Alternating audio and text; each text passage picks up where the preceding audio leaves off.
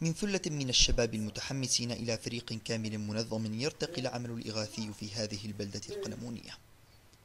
الهلال الأحمر منظمة إنسانية خيرية يضم عددا من المتطوعين يصل عددهم إلى خمسين فردا يقضون جل وقتهم في هذا المركز.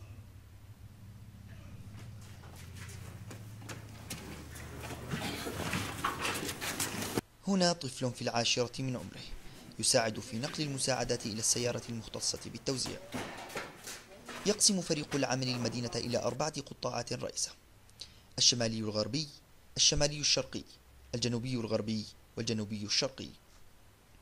وتعمل في كل قطاع سيارة وبهذا ينجز العمل كله في غضون أربع ساعات. العمل هنا تطوعي بحت وحتى سائق السيارة متطوعون بسياراتهم. ووقودها من نفقتهم الخاصة. أبو عبد الله أحد أهم الناشطين في المجال الإغاثي يروي لنا من مستودع الهلال الأحمر ما يحتويه ذلك المستودع والمواد التي يتم توزيعها.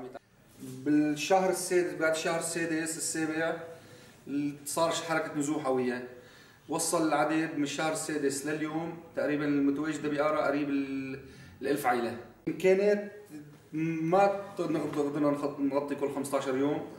فتحنا المجال 10 أيام على 20 لل 25 يوم. اليوم كان عندنا صادف اليوم التوزيع. اليوم وزعنا تقريبا شيء 700 حصة. 700 حصة غذائية. عندنا الحصة الغذائية نحن للخمس أشخاص.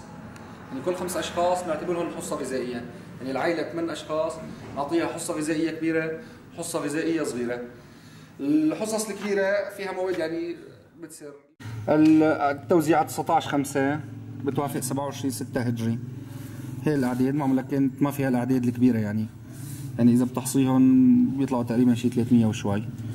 هلأ من 19 5 كل ما يقوم به الفريق هنا مسجل في دفاتر خاصة وهناك من يختص بتخزينه كملفات إلكترونية يتم تحديثها باستمرار.